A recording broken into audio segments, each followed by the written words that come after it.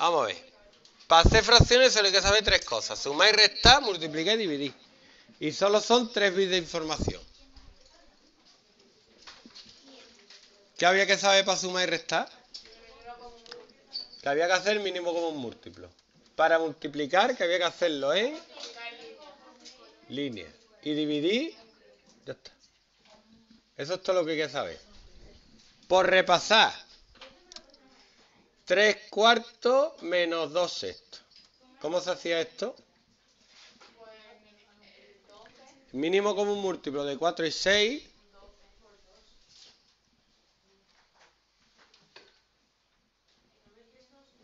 ¿Está aquí o no?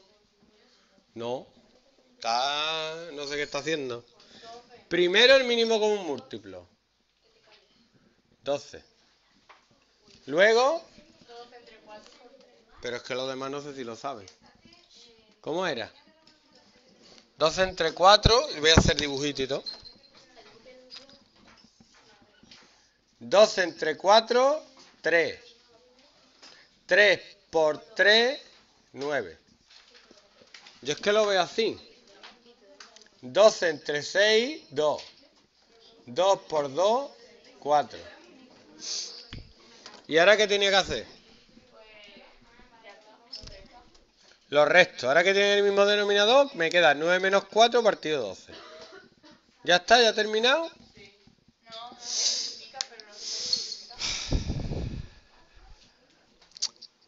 Mi garganta te lo agradece. A ver, en línea. Uy, he puesto líneas. Línea. Por ejemplo, 3 cuartos por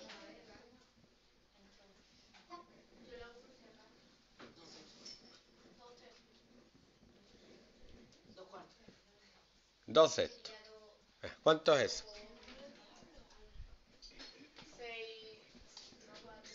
3 por 2, 6. 4 por 6. Menos más. Venga, y 6 entre 24.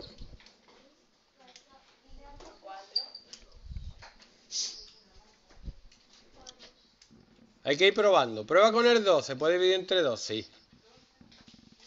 Ahora, esto ya no se puede dividir entre 2, pero se puede dividir entre 3, sí. Pero sería más fácil entre 6. Hey. Si lo haces tú entre 6, más rápido, mejor. Para mí. Y para ti. Y para la Dirección General de Tráfico. Dividir. ¿Qué es un dividir? 4 quintos dividido 8 décimos. 40, 40, Uh, ¿eso qué es? entre 5. ¿Entre 5 de qué? Ni entre 5. Ni entre 10. 40, 5 a 8. 40 entre 40, 1 y yo. Si tengo 40 caramelos y 40 niños, pues tengo un caramelo a cada niño. Y ya estamos entre 20. ¿Para qué es el mismo?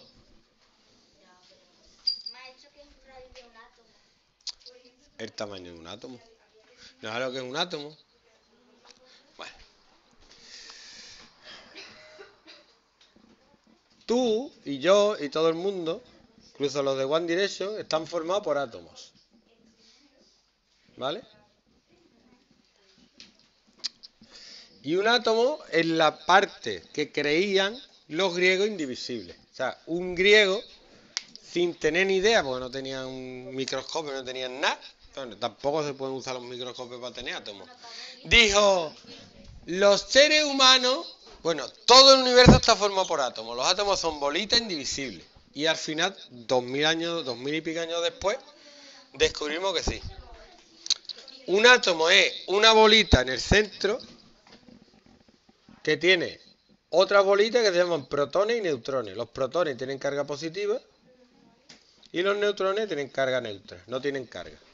Y estos son todos gordos, como el Sol. Y alrededor tienen planetas que van dándole vueltas, que se llaman electrones, que son muy chiquititos, pero tienen carga negativa. Entonces, en los átomos, normalmente el número de cargas positivas, si aquí hay 3, es igual que el número de cargas negativas.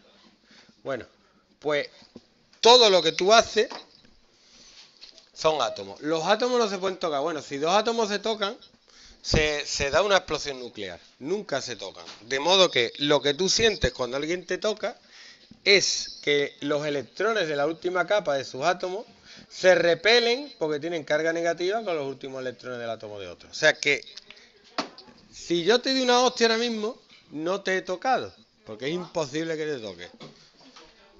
No, no, no. Lo único que sientes es la repulsión de los átomos con los suyos, pero tocar, dos átomos no se pueden tocar, es imposible. No. Vamos, es imposible, es posible, chocan entonces una bomba nuclear. ¡Beba! Por mucho que yo. O sea, nada, no, no te estoy tocando. Me puedes decir, es la repulsión entre los electrones de la última capa de mi dedo. Te metes dedo en el ojo. Yo no te he tocado.